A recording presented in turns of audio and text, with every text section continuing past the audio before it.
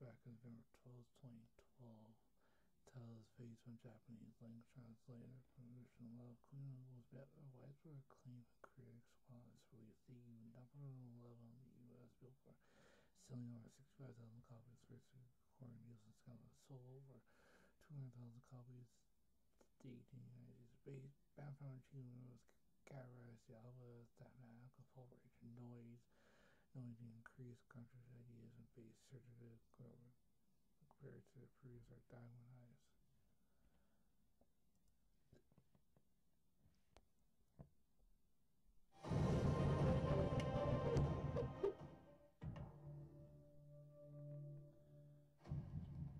Llevamos a seis con un coche patrulla de escolta.